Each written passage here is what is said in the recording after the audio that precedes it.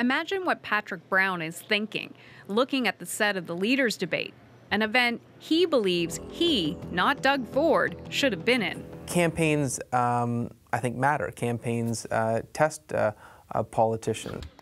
In this case, it has certainly tested Ford.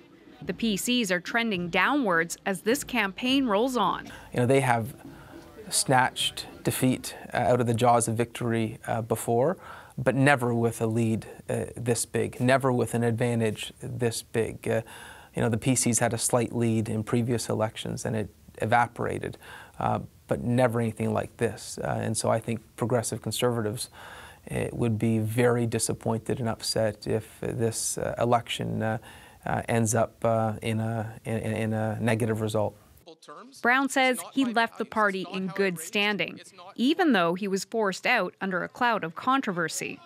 Brown stepped down as leader in January when CTV News reported that two women were accusing him of sexual assault. Brown has denied the allegations. Ford won the subsequent leadership. I'm not uh, particularly close with Doug Ford. I obviously uh, I'm more of a progressive conservative, and we share different uh, perspectives. Brown says he tried to soften the party's hard-line conservative image. I was proud to be the only conservative leader in the country to speak against uh, Islamophobia. I was uh, proud to lead a conservative party that recognized climate change. There are conservatives I would suggest to replicate, and there's conservatives I'd suggest not to replicate. You say not to replicate. Is there well, I think some of the conservatism uh, south of us in the United States wouldn't be a brand that I would suggest works in Ontario or is appropriate for Ontario. Brown was careful not to directly criticize Ford. He danced around it, suggesting he doesn't want to destroy the party. Observers say it's very unusual for a former leader to attack a current one at such a critical time in a campaign.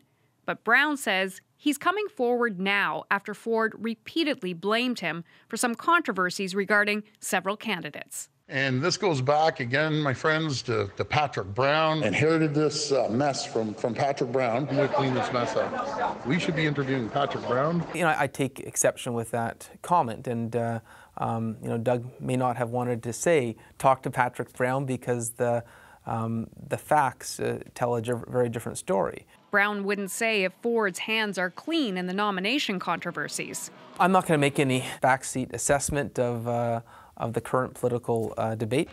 Ford's camp refused to comment today, but a source close to the campaign says Patrick Brown is trying to rehab his image so he can run politically again in the near future.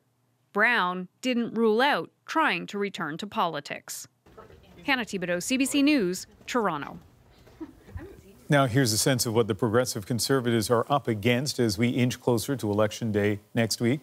Right now, our CBC poll tracker suggests the PCs and NDP are running neck and neck in the popular vote, with the Liberals well back.